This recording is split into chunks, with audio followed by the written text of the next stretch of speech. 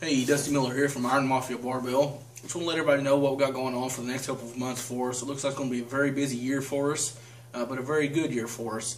Um, we'll be hosting some meets uh, ran by a couple different federations. It looks like um, we've got a lot of um, guys and girls will be doing uh, a couple meets uh, at the first of the year.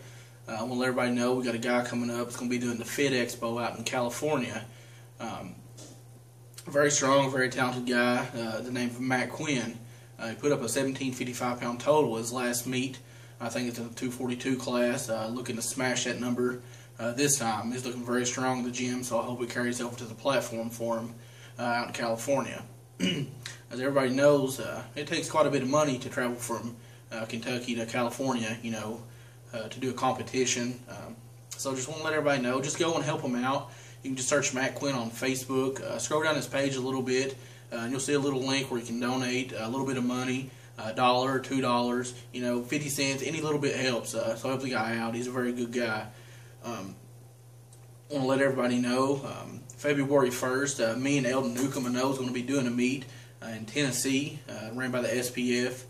Um, be my first meet at 220s. Uh, I usually cut to 198, but I've decided uh, to throw the cutting away for a little while and um, not cut down and just see what I can hit at a bigger uh, weight class uh, and try to get a better total um, just to see what I can hit.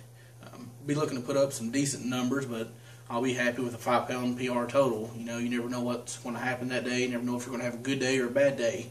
Um, but I'm hoping to put up some decent numbers uh, for my first 220 um, go at it. Um, RUM's coming up as well. I think it's February 8th and 9th. Uh, it'd be in uh, Port St. Lucie, Florida. We got uh, four or five uh, guys and girls out of this gym doing that uh, meet as well. Um, top-notch lifters. Um, so everybody go out and support them. Um, we got Brandon Lilly, uh, Mark Miller, my brother, Shayna Cowan, Caitlin Trout, I think Stephanie Thompson is doing as well. Um, so good luck to them. it's sort of the best of the best is going to be for that day.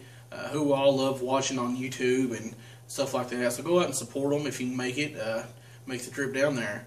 Um, we're also going to be hosting the meet on February 22nd. Uh, no regret, no surrender um, with the SPF.